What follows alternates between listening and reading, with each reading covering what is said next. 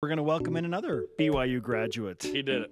His name is Dennis Pitta, and yes, he is a BYU graduate. I, I do want to ask you this: like, what took so long? Because I was encouraging you, but you were very defiant. I think we should set the record straight. You did no encouraging. That video was a complete joke. Are you and Jarom friends?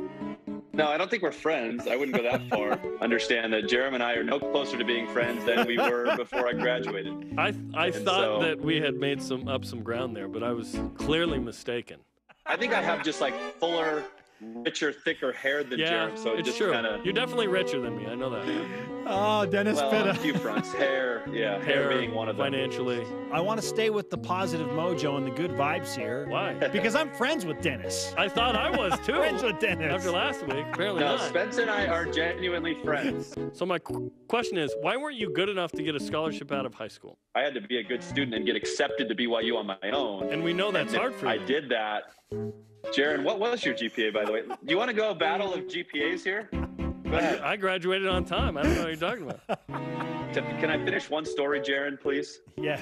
It's, I know it's your name's Jerome, Jerome. For all for all accounts, it's Jerome. I said I'm only playing in that game if I can full speed spear Jarom on the field prior to the game. I'll see what I can do about the uh, spear Jarom before the game. Yeah, that's actually still, uh, you know, a mandatory request. If Jarom's going to be in the huddle with his little microphone trying to get audio, we're not having that either. It was a regular We're regular kicking size him out of the huddle. Whatever it was, you don't belong in the huddle.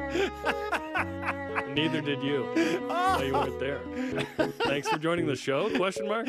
Oh, yes. Great to talk to you. The You're feud welcome, continues. Thanks for having me. Uh, I thought you were taking steps in the right direction. every time he comes on, it's ten rounds, bro. Ten rounds. He threw some haymakers there at the end. So did your boy.